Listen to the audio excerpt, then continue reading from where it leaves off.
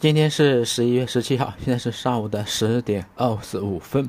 我们来看下券商，券商微跌，那么这个时候怎么办？要不要减仓，还是该加仓？它现在在五日均价线之上，接下来会怎么走？还有券商板块核心焦点看点在哪里？如果大家对当前盘看不懂的，仔细听。分时图啊有意思，早盘快速冲高，你看又是吧？急速跳水，如果你在这个位置啊割掉，在这个位置追高，在这个位置，那就很郁闷了。那么从技术方面来说，今天的这个分时图啊出现一个快速的一个异动，那么怎么理解？其实我觉得这个位置很正常的一个冲高，哎呀，怎么看呢？这里一个大阳线突，那么还记得我前面跟大家说过吗？出现大阳线的时候，往往是什么？新周期，那么新周期的话该怎么办？逢低去关注，你不要轻易的去追高，对吧？因为现在这个板块轮动很快，追高容易冲高回落，券商也是如此啊。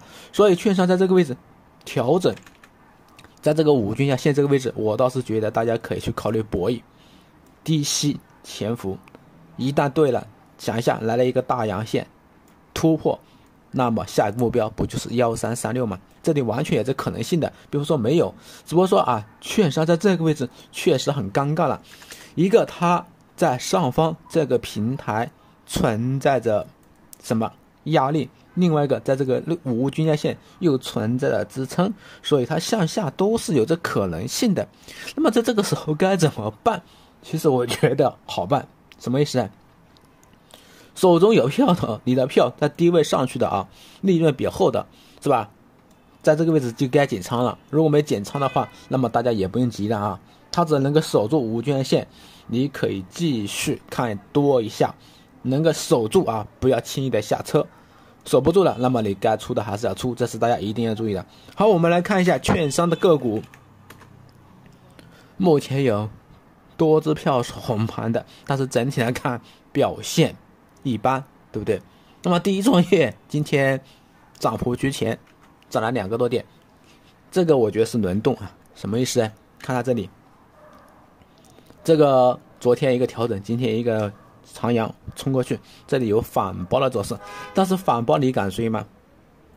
肯定不敢追啊，对不对？为什么？看前面这个位置压力很大，下面支撑，这里是支撑，这里是压力，一追。高位不就被套了吗？对不对？一追上方的压力一打的话，那么冲高回落。所以像这种情况下怎么理解？就是说啊，五日均价线这个位置你能够守住，对吧？能够守住，那么你可以考虑做一个低吸。守不住的话，该跑的也是要跑。这里我觉得就是一个轮动，所以在这参与过程中啊，大家去追高的话，一定要拼谨慎啊，否则的话你就高位站岗了。天风证券。这个是近期啊表现比较强势的一支票，它趋势开始走怎么上上了？这里一路下跌，看没有？一路下跌。好，现在是守住了五日均价线，那么五日均价线就变成了它的强支撑位。这个位置怎么理解？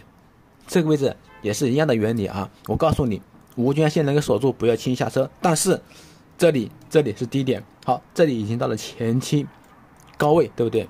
如果盘中有急拉。你在低位上车的，你有获利盘的，巨啊利润巨大的，大家可以考虑先跑为快，这个是没没问题的，没错的啊。还有就是，目前市场这里存在的一个什么，这个票的话存在的一个问题，什么问题大家知道吗？它现在再涨的话，就逼近上方的一个强压力位这里，但是近期是放了量的，但这个量能相比起前面这个量能，它是有所欠缺的。所以啊，就算它往上冲，你也不能轻易的去追。一追的话，那碰到上方的压力一打，那你不就高位站岗了吗？是不是？所以像这种票的话，你只能去做一个啊，做一个潜伏。这么说大家应该能够理解啊。哈头股份，哈头的话，近期走势啊，可以说非常之不错，对吧？你好，大家看。它连续的走强走高，但也是面临着高位的压力，啥意思？这个位置啊，对不对？这个位置啊，这是一个压力区间了，也就是这样我们理解，下方支撑上车，这里越往上走越逼近上方的高位，大家越要小心了啊，它随时都有可能往下调整。那么它的区间已经到了一个什么相当高的一个位置，就是说压力位置，随时都有可能被打。那么这个票我觉得可以这么看，你就留一下这两条线就对了，下面这条线和上面这条线，不要不要那么纠结，对吧？到这里考虑跑，到这里上，然后呢，它的优势也很明显，优势什么？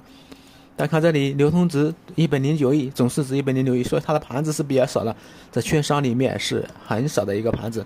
后期的话，存在着一个什么拉升的预期，但是拉起来的话也是比较困难，因为它整体的股性啊不是特别好，它每次都冲高回落，你看这个持续性又不是特别好，所以大家操作起来是要还是要谨慎。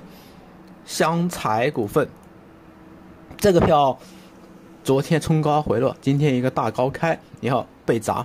其实这个票大家注意啊，作为这一轮的核心，作为这一轮的龙头，今天没有被按死，那么资金啊入场的意愿很强。这里震荡了以后啊，随时都有可能再次拉升，迎来反包。那这种票啊，大家就应该重视。作为核心，作为龙头的话。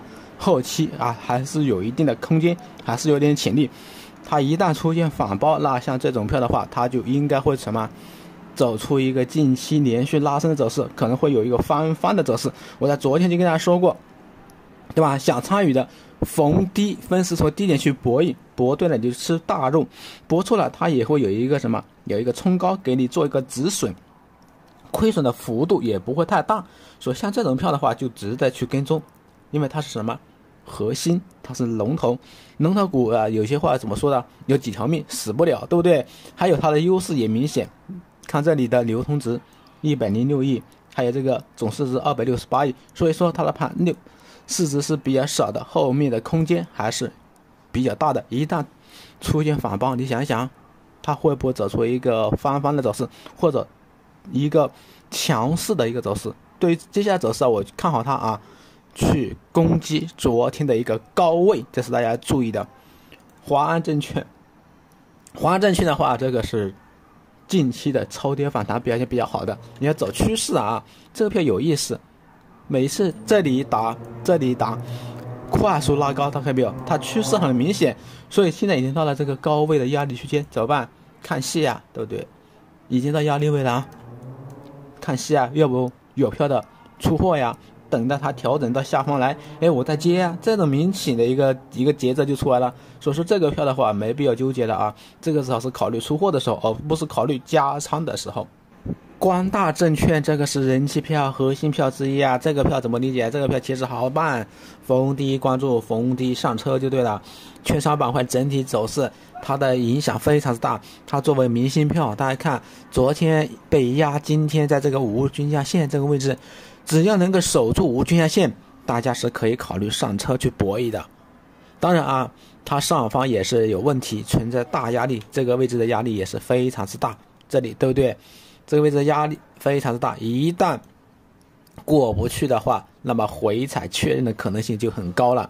那怎么理解呢？就是说，这个票手中有票的，在这个高位，尤其是那个涨停的这个位置啊，随时准备跑路。跑路啊，随时准备跑路。当然啊，它要是在这里出现一个长阳放量突破过去的，那么我们可以继续看多，继续躺。可能很多朋友说，这说的不是废话吗？对不对？其实我们做股票，尤其是做短线，你要根据成交量，根据当前的一个盘面来判断，不能一味的去什么。去啊，去意淫啊，这是大家一定要注意的。从技术方面来说，它还有走强的预期，所以光大证券在这个位置还可以看一下。它只要守住无均线，没必要轻易的去看空去做空。这里啊，我们来看今天的盘面，整个券商板块表现的不是特别的好。为什么？因为这个头部券商在砸盘啊，头部券商在下跌。东方财富、包括中金公司、中信证券这些都没有企稳，所以这是关键。大家看。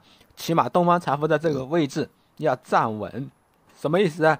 东方财富在这里，我告诉大家啊，前期在这个时候啊，对不对？我告诉你，它的反弹目标是六十年线，现在到了六十年线，因为在这个六十年线这位置啊存在着一个压力，现在出现一个回调，所以大家记住啊，东方财富这个票一定要站稳以后，券商才会有可能迎来一个进攻。那我觉得它在这个位置的支撑还是比较强的，在这里再次去冲六十线的可能性大大增强。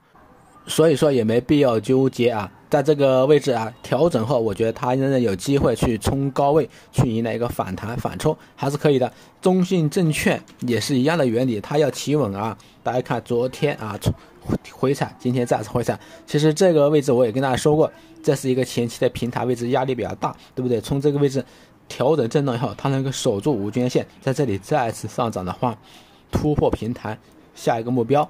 就是这个二十二，所以它空间潜力就会打开，对接下来行情啊有很大的一个支撑。那么它一旦走稳的话，那我觉得券商板块啊整体的走势就起来了。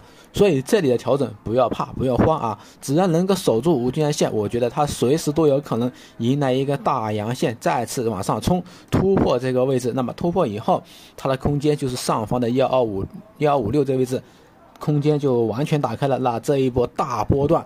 吃大肉的阶段就开始了，这是大家一定要注意的啊！券商这个位置，起码我觉得不能轻易的去看空。好，这一期的视频我们到这里就结束了。